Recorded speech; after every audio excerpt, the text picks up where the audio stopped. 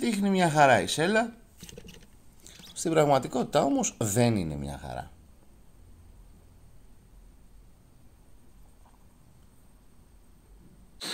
Γιατί είναι πάλι σκληρή. Είναι πάρα πολύ σκληρή. Είναι υπερβολικά σκληρή. Είναι στενή, σε πονάει. Πραγματικά μετά από 40 λεπτά πονάει ο κόλλος μου. Και δεν είναι κανένας επιδείξιος κόλλος να θέλω και καμιά μεταξωτή σελό κατάσταση. Δεν μπορώ να καταλάβω τι σκεφτόντουσαν στη Χόντα φτιάχνοντας αυτή τη σέλα. Λες και δεν ξέρω να φτιάχνουν σέλες. Ανεβαίνεις στο βαραντέρο, κάνεις όσα χιλιόμετρα θες χωρίς κανένα πρόβλημα. Είχα πάρει ένα 1106 το 2000 Ανέβαινα πάνω στην Αθήνα και κατέβαινα Αλεξανδρούπολη. Δεν είχα κανένα πρόβλημα με τη σέλα στη συγκεκριμένη μοτοσυκλέτα. Εξαιρετική σέλα. Ακόμα και το Transalp έχει πολύ καλή σέλα. Ένα το 6,5 που είχα. Καλή σέλα. Καθόσουν πολύ ώρα πάνω της. Εδώ παρότι είναι το adventure sport που ουσιαστικά δεν χρειάζεσαι την πιο σκληρή σέλα, δεν θα κάθεσαι και πολύ όρθιος. Εκτός αν η Χότα θέλει να μας πει ότι το Αφρικα κύριε θα το δικάτε όρθιοι μόνο. Όποιο και είναι αυτό. Και έτσι θα κάνουμε μία δεύτερη απόπειρα να φτιάξουμε τη σέλα σωστά ανατομική, να είναι ανατομική και ξεκούραστη. Πέραν το ότι θα μπορείς να κάτσεις επάνω της για ώρα και να γράψεις πολλά χιλιόμετρα. Και όχι τίποτα άλλο. Έχει δίκιο ο τύπος με το εργαλείο των 1250 κυβικών με την προπέλα και αρχίζει τις ερωτήσεις. Πόσο οφείλε τα κάγκελα, πόσο οφείλε το στάντ, α, βλέπω έχεις φτιάξει και τα...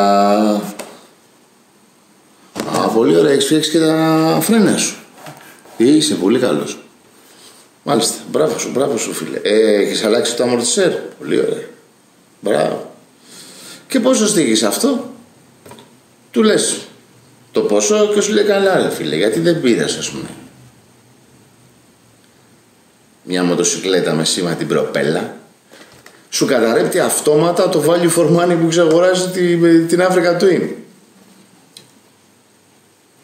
Τι να του πεις τώρα για αυτόν, νου; Μήπως μπορεί να καταλάβει ότι την πήρες για αξιοπιστία; Κάθεσαι στη γωνιά και δεν μιλάς λοιπόν και περιμένεις όταν θα γράψουμε και δύο 50-60 χιλιόμετρα να δούμε πόσο θα έχει πληρώσει αυτός άλλη μια μη μοτοσυκλέτα από τις ζημίες που του έχει βγάλει εκείνο; Και εσύ ούτε βίδα. Γιατί αν του πεις τώρα ότι θα κάνω 6 φορές το γύρο του πλανήτη χωρίς να βιδώσω βίδα, ας μην κάτσε ρε φίλ. Γιατί δεν μπορείς να δεις μέχρι την Κόρινθο πάνω στις έλαδες, θα μου γράψεις και 6 φορές το γύρο της γης. Ε, γίνεται αυτά τα πράγματα. Κάτσε λοιπόν στη γωνία, μην μιλάς και απλά περίμενε. Αυτά, πάμε στο Μότο Κάπα λοιπόν στην Καλλιρόης. Μήπως βρούμε την υγειά μας.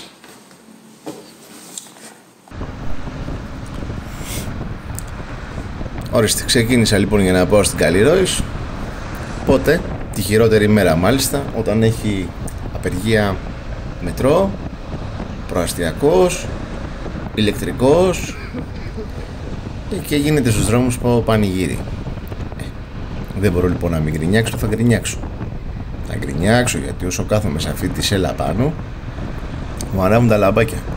Δεν μπορώ να πιστέψω πόσο ξενερώνω όταν οδηγώ τη μοτοσυκλέτα των ονείρων μου και είναι κάθε δευτερόλεπτο πάνω της βασανιστικό.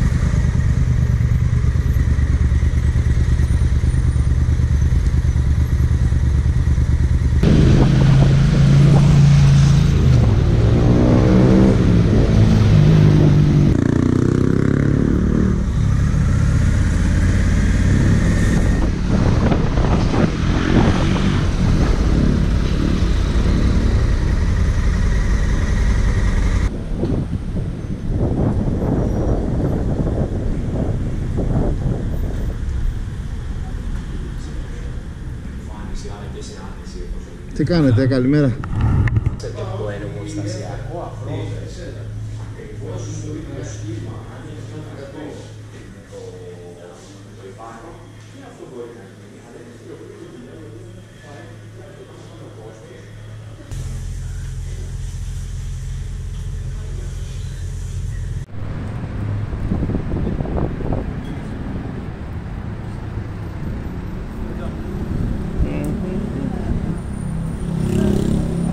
Να την αφήσουμε έτσι.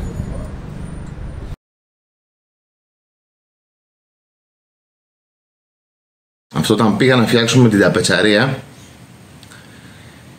και το γέμισμα μέσα με βάλαν να κάτσω πάνω στη σέλα και είχαν από κάτω πάνω στη σέλα είχαν βάλει ένα τετράγωνο μαξιλαράκι στο οποίο ενώ καθόμουν εγώ αυτό μέτραγε το που κάθομαι πάνω στη σέλα ακριβώς και το τι πίεση δίνω στη σέλα ανάλογα με το βάρος μου έτσι ώστε και εκείνοι να καταλάβουν πόσο παχύ θα πρέπει να κάνουν το γέμισμα. Οι μετρήσεις αυτές πηγαίνανε σε ένα τάμπλετ το οποίο έχει το παλικάρι δίπλα και έτσι αφού ξυλώσαν την παλιά τα πεσάρια βάλαν το ανάλογο γέμισμα. Ναι. Ε, άψογοι επαγγελματίες, πολύ καλά παιδιά. Μου άρεσε πάρα πολύ ο τρόπος που δούλευαν, έκλεισα το ραντεβού μου, πήγα, με ανέλαβαν, μα πήραν αμέσως. Μέσα σε δύο ώρες είχαν τελειώσει τις μετρήσεις που έπρεπε να κάνουν. Είχαν βάλει το αφρόδες υλικό, με αφήσανε και πήγα μία βόλτα με τη μοτοσυκλέτα να δουν να δω και εγώ αν χρειάζομαι κάποιες αλλαγές πάνω στο στήσιμο της έλας ναι, πολύ καλή δουλειά. Στο Μότο Κάπα συνάντησα άψογους επαγγελματίες και πολύ καλά παιδιά. Χωρίς να τα ξέρω ποτέ, δεν τα είχα ξαναδεί ποτέ στη ζωή μου. Αυτό που θα πω είναι για τη Honda. Για τους Ιαπωνέζους που τους αγαπάμε. Εγώ πάντα από 17 χρονών είχα πάρει ένα RD 3,5 Yamaha και από τότε αλλάζω Yamaha, Honda, Yamaha, Honda, Honda, Yamaha, Yamaha, Honda.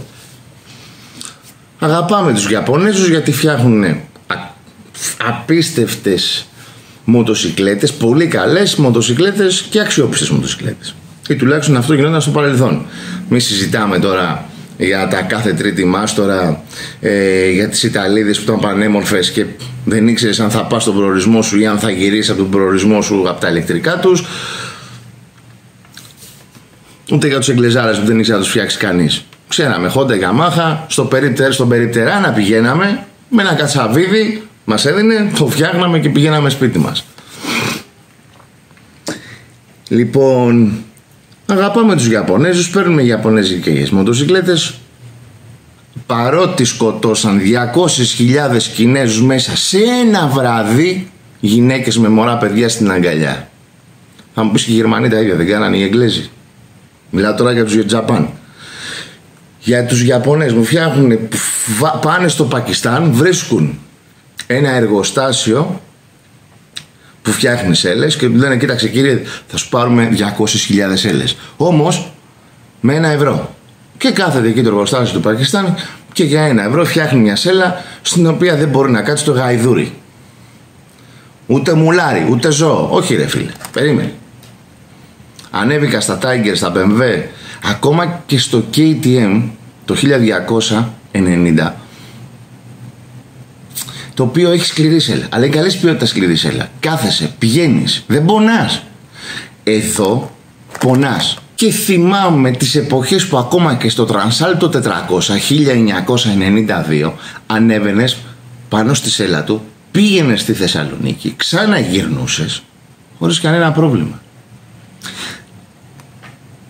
Τέτοιο θέμα αντιμετώπισα και στο Africa Twin του 1998 που είχα αγοράσει ήταν και εκείνη η σέλα σκληρή και εκεί πόναγε. Και εκεί πάνω από 45-50 λεπτά δεν κάθεσε.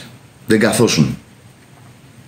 Όχι, δεν μπορεί να σας δίνουμε κύριοι 17.000 ευρώ να παίρνουμε μια μοτοσυκλέτα την οποία δεν μπορούμε να πάμε ούτε στην πλατεία. Να πιούμε ένα καφέ. Γιατί εσείς πρέπει να πληρώσετε μεταφορικές, μεσάζοντες. Ανέβασέ μου το κόστος και φτιάξε μου μια σέλα της προκοπής, ρε φίλε. Μη με κάνεις και τρέχω. Μη με κάνεις να τρέχω. Εγώ έχασα τώρα μια εβδομάδα από τη ζωή μου για να φτιάξω τη σέλα. Δεν σου μιλάω για τα μεροκάματα που μπορεί να χάσα. Ούτε σου μιλάω για το κόστος της. Εδώ πλήρωσα 250. Και 40 την πρώτη φορά που έκανα το ζελ είναι 300 ευρώ. Συν το χρόνο που έχασα στο πήγαινε, έλα, άφησε τη μοτοσυκλέτα, άφησε τη σέλα, πήγαινε πάρτιν. Γιατί; Γιατί; Σας έδωσα αυτά που μου ζητήσατε. Δεν σας είπα φτιάχτε μια μοτοσυκλέτα φτηνή. Και εγώ και τον άλλον δίπλα και γελάει. Γιατί ρε φίλε δεν πήγες να πάρεις αυτή που είχε 140-150 άλογα και μου πήρες το ψοφίμι. Δεν μπορεί να παίρνεις μοτοσυκλέτα σήμερα που να μην έχει στο βασικό της εξοπλισμό διπλό stand. Όχι, δεν μπορεί, δεν γίνεται. Το 2000 στο Blackbird που είχα αγοράσει είχε στο βασικό εξοπλισμό διπλό stand. Το να τη βάλεις βέβαια τη σέλα είναι κάτι πολύ δύσκολο ειλικρινά. Γιατί, γιατί πρέπει να πιάσεις σε τρία σημεία. Όχι ένα, ούτε σε δύο. Έλα έξω εσύ. Αλλά σε τρία σημεία. Κάτι που είναι εξαιρετικά δύσκολο. Πρέπει να πιάσει εδώ, εδώ και εδώ.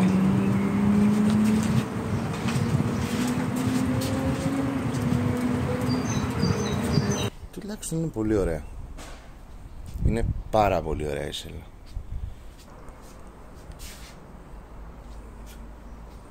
Τη πολύ ωραία. Έχουν βάλει τα παιδιά και το λογότυπό τους.